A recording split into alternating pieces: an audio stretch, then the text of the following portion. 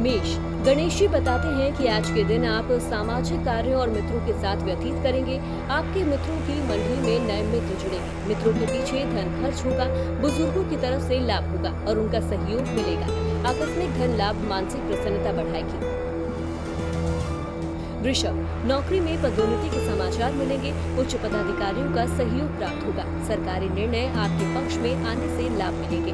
नए कार्यों का आयोजन हाथ मिलेंगे अधूरे कार्य पूरा कर सकेंगे। दाम्पत्य जीवन में मधुरता रहेगी। तंदुरुस्ती बनी रहेगी। मिथुन गणेश जी कहते हैं कि आज आपको थोड़ी प्रतिकूलताओं का सामना करना पड़ेगा।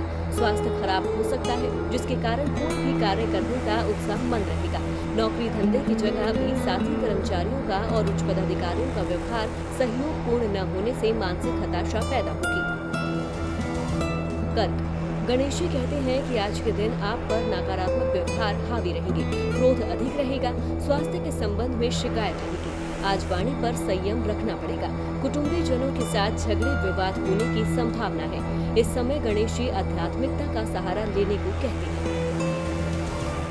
सिंह, गणेश जी कहते हैं कि आज के दिन आप मनोरंजन तथा घूमने फिरने में समय व्यतीत करेंगे। फिर भी सांसारिक मामलों के विषय में आपका व्यवहार उदासीन रहेगा। जीवन साथी का स्वास्थ्य खराब होने की संभावना है। विपरीत लिंगीय व्यक्तियों के साथ की मुलाकात बहुत आनंददायक रहेगी कन्या। गणेश जी कहते हैं कि परिवार में आनंद एवं उत्साह का वातावरण रहने से आपका मन भी प्रसन्न रहेगा, स्वास्थ्य बना रहेगा, बीमार व्यक्ति की तबीयत में सुधार होने से राहत का अनुभव होगा। कार्य में सफलता और यश मिलेगा। ननिहाल में से शुभ समाचार मिलेंगे तुला आज आप अपनी कल्पना शक्ति या सृजन शक्ति को अच्छी तरह काम में लगा सकेंगे। बौद्धिक प्रवृत्तियाँ या चर्चा में भाग लेना आपको पसंद आएगा। संतान की तरफ़ से शुभ समाचार मिलेगा। उनकी प्रगति होगी। सामान्य रूप से शारीरिक, मानसिक ताजगी के साथ आज के सभी कार्य करेंगे, ऐसा गणेश जी कहते हैं।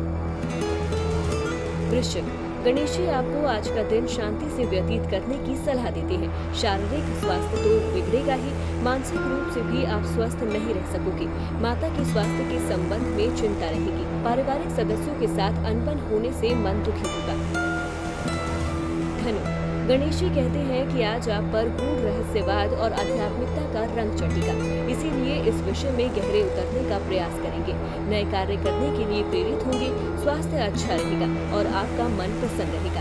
लघु यात्रा की संभावना है। मित्रों और सगे संबंधियों के साथ की मुलाकात सुखद रहेगी।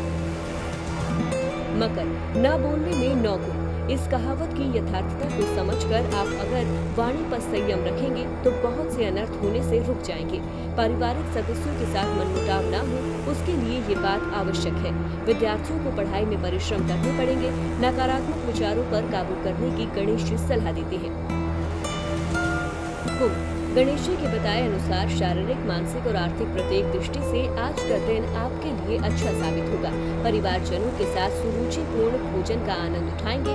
मित्रों के साथ बाहर घूमने जाने का आयोजन होगा। तो दूसरी तरफ़ आज आपकी चिंतन शक्ति और आध्यात्मिक शक्ति भी अच्छी रहेगी। मीन थोड़े समय में लाभ लेने का लालच छोड़ने और पूंजी निवेश में ध्यान रखने की गणेश जी सलाह देते हैं। आज आपके मन की एकाग्रता कम रहेगी। शारीरिक स्वास्थ्य खराब होगा, संतान की समस्या उलझन में डालेगी। स्वजनों से दूर जाने का अवसर आएगा, धार्मिक कार्यों के पीछे खर्च होगा।